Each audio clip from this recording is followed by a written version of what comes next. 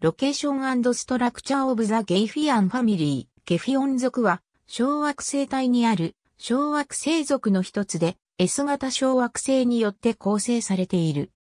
ゲフィオン族のメンバーは、おおむね以下の範囲内に固有軌道要素を持つ。コアメンバーの接触軌道要素は、以下の範囲内にある。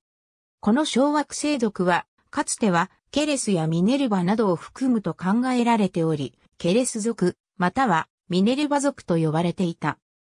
しかし、スペクトル分析によって、それら最大級のメンバーは、他の大部分のメンバーとスペクトルのタイプが異なり、実は侵入者だったことが明らかになった。その他の侵入小惑星としては、オッパビア、ブルグンディア、ボボネ、サボボダなども知られている。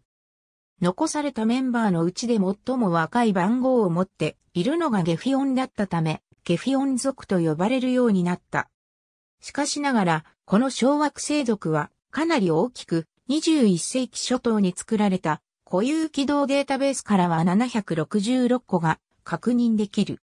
ジャッジングは直径 34km で直径がほぼ確実にわかっているメンバーの中では最も大きい。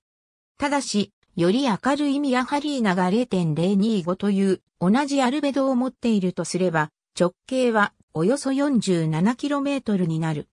ゲフィオン族の小惑星の一覧は、ウィキペディア英語版をケレス族と呼ばれていた。当時の一覧は、アリゾナ大学のサイトを参照。ありがとうございます。